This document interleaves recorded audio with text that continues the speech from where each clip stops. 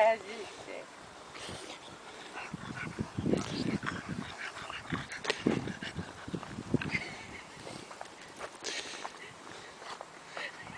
Já si pudruje hubu. No, děláš mi tady stín.